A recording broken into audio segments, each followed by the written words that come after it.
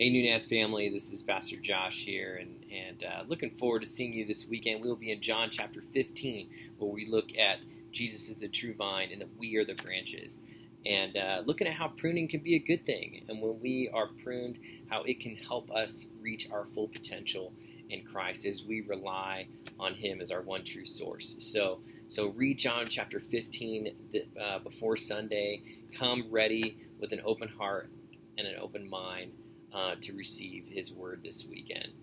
Uh, also, we got a hike and go group coming up on Saturday. Meet here at 8 a.m. Uh, connect with Pastor Eric if you are interested in being a part of that. Also, September is uh, a big month for us here at New Hall Church, and um, we have small groups. Sign up for a home group um, within the next couple weeks. We are going to be going through a series called Rooted, and our staff, we are really looking forward to this series. We believe that it's going to really take our church um, to a deeper place in terms of having a, a deeper conversation uh, with each other and also with the Lord. Um, and uh, we look forward to seeing you here at Nunez. Bring a friend, and uh, hopefully you're having a great weekend, and we will see you soon.